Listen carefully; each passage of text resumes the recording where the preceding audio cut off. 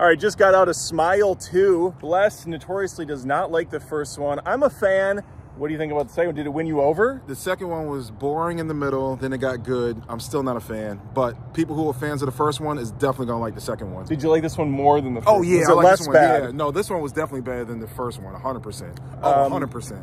I agree to an extent. I think the middle's rough on this. It should have been about 20 minutes shorter, but the ending is wild. Uh, way more bloody, way more Yeah. violent. Oh, I'll have a full review, of course. Any last thoughts on this? Watch It Follows It's way better. It follows. This is, I mean, this is a ripoff of It Follows. It Follows. And they're making a sequel to that too, which I'm excited Are you for. serious? Yeah, it's coming Oh out. wow, I didn't know that. I'm All right. excited. Review coming soon. Take care.